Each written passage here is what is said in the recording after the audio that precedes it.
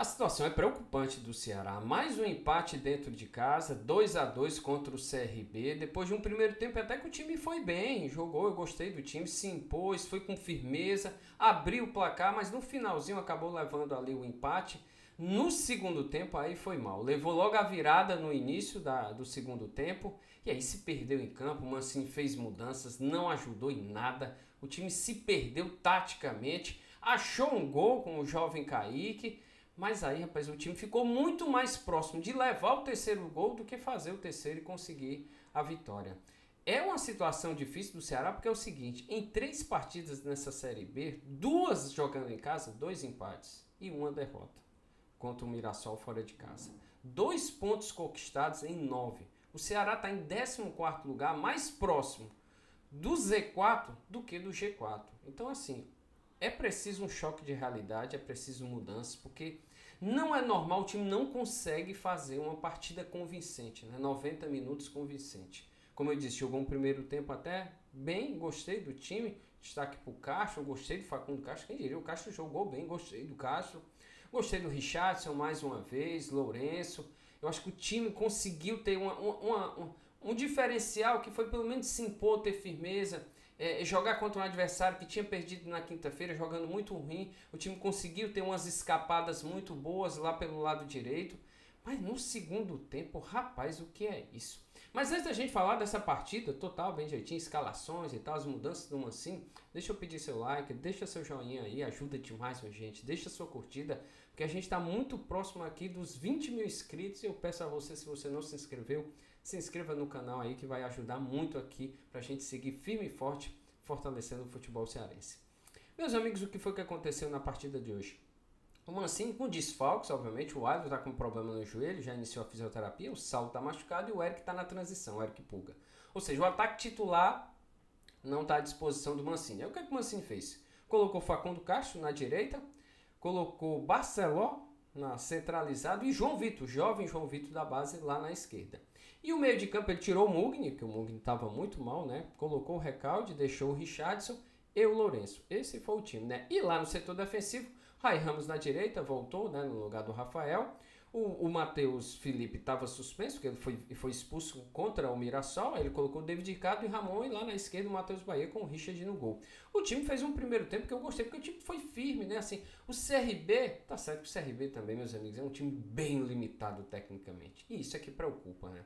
Porque, pô, se enfrentar um adversário como, como o CRB, limitado, e você não conseguir vencer, é, é preocupante. Mas o primeiro tempo será se impôs, eu acho que teve oportunidade, fez o primeiro gol com o Barcelona, já tinha tido outras oportunidades, com o Lourenço já podia ter, feito, ter aberto o placar, o próprio Barcelona já tinha tido outra oportunidade.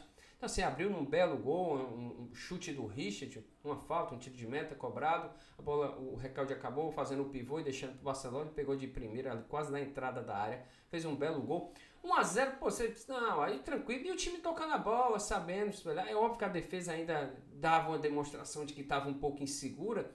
Mas um jogo controlável, tá bom? Competitivo pro Ceará, mas controlável. E só que no finalzinho, praticamente no último minuto, faz um lance lá na lateral direito, no meio de campo, rapaz uma tabelinha do Hereda, recebe uma bola nas costas do Matheus Bahia, invade a área e faz o gol 1 a 1 Mas beleza, tá bom, vamos pro segundo tempo. No segundo tempo, logo no início, acaba levando um gol de escanteio, cara, cobrança de escanteio, desvio da zaga.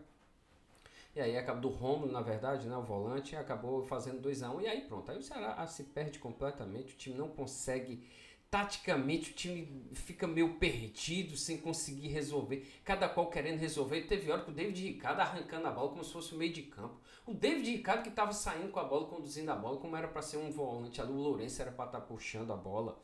Enfim, o Ceará perdido. Aí o Mancini faz as mudanças, coloca o Mugni e o Kaique, tira o Richardson, coloca o Lourenço como primeiro volante, o Mugni como segundo e deixa o recalde mais ali nas armações. Tira o João Vitor, coloca o Kaique e aí o Kaique acaba fazendo um escanteio, a bola era do CRB, ele acaba colocando a bola para fora, mas no escanteio o Kaique, a bola, o Lourenço cabeceia, a bola sobra lá pro Kaique sozinho, ele resvala na bola, chuta sem querer, sei lá, e acaba tocando, raspando na bola e faz o um empate 2 a 2 Quando se imaginava que o Ceará fosse para cima, buscasse o resultado, o time não consegue, não tem força, não tem qualidade, meus amigos. Assim, a gente tem que ser muito honesto, é qualidade técnica mesmo O time não consegue, não se impõe. E o, e o time do CRB faz algumas mudanças, o Daniel Paulista faz algumas mudanças e o time até cresce, porque teve oportunidade, deu três oportunidades para fazer o gol. O João Neto conseguiu lá, teve um quase que faz um gol, teve outra com o GG e teve outro com o Lambareda. Tá assim no finalzinho ali, os 40, 44 e aos 46. O time quase faz e o, e o Ceará tem uma chance, uma chance mínima, mas tem com o Lourenço e acaba também desperdiçando. É muito pouco para um time que busca voltar à Série A do brasileiro. É realmente preocupante. É difícil você imaginar que o Ceará, com, da forma como está hoje, o retrato das três primeiras rodadas, não dá, meus amigos. Não dá. Tem que ter um choque de realidade muito grande alguma mudança muito grande. Eu não sei se com a volta do Pulgo o time pode fazer esse, dar esse salto de qualidade que está faltando. E eu realmente não sei se o Pulga sozinho consegue fazer esse time jogar bola, principalmente no setor ofensivo. E hoje o setor defensivo do Ceará também é muito preocupante. Três partidas, meus amigos, seis gols, dois gols por partida. Levou um gol contra o Goiás, três contra o Mirassol e dois agora contra o CRB.